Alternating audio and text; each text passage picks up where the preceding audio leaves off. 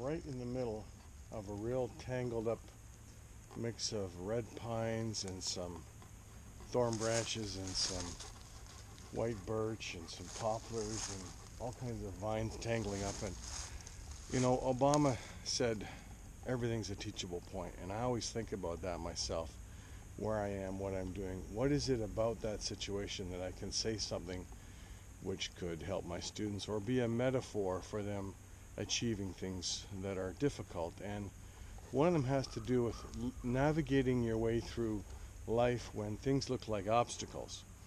Now, part of the thing that psychs you guys out is you feel somewhat negative about the future sometimes because you can't see the exact path. But it's a little bit like walking through an entangled forest. You have to get up closer to see the obstacles more precisely and also at the same time the opportunities. Because on the surface it may look like things are kind of difficult. But as you approach, you can see you can duck under this branch, you can go around that tree, you can cross over that log. And that's a good metaphor for life because I'm going to prove it to you. Where our ranger is right now, there's a bunch of vines in the way.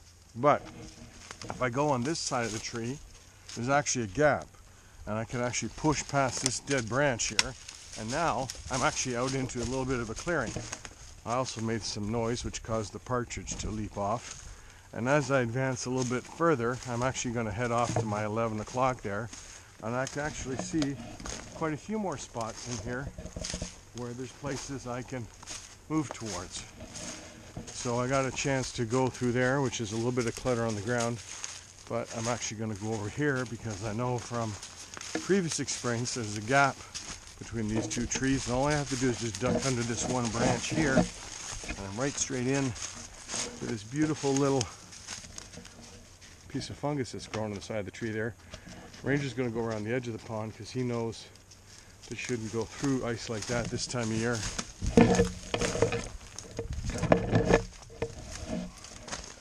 We'll also make a lot of noise that people can hear us a far distance away.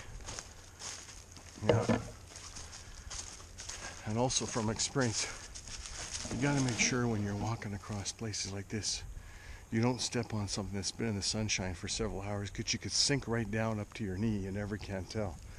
Uh, it was frozen last night about minus two, but right now it's about plus seven, and it's been that way for about four or five hours now.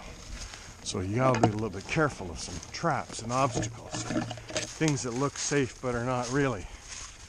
And then we come up here, and can see maybe an abandoned stretch of road. So we can walk along this path here and cover quite a bit of ground. So that's just a little bit of a metaphor for life. Don't get discouraged because at first glance things look difficult. If you start to approach the challenges as you get closer and closer, you can see that some things you can actually get past. Other things are difficult, but you just go around them.